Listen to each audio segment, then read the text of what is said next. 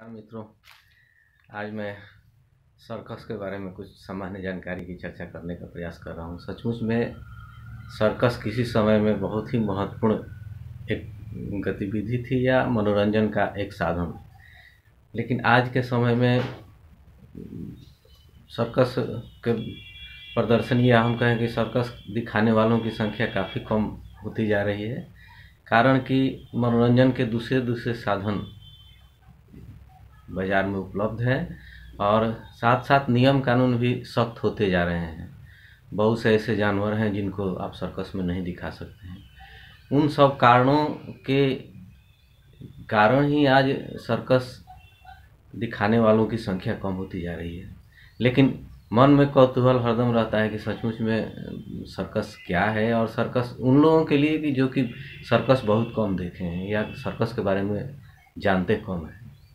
तो मित्रों, एक बहुत रोचक तथ्य है कि सचमुच में सर्कस को आज के दिन ही अमेरिका में शुरू हुआ था और उस समय बहुत सीमित रूप में था, लेकिन धीरे धीरे इसका दायरा बढ़ते गया और सर्कस में अपनी कला के साथ साथ जानवरों की कला भी उसमें सम, सम्मिलित होने लगा। और सचमुच में अगर देखा जाए तो मानव ने एक अपनी कला को जानवरों के द्वारा कैसे प्रशिक्षण किया जाता है, कैसे उनको अपने अनुसार गतिविधि कराया जा सकता है, इन सारी विधियों का या हम वो कह सकते हैं कि साथ साथ हम अपनी कला का भी प्रस्तुति करते हैं सर्कस के द्वारा।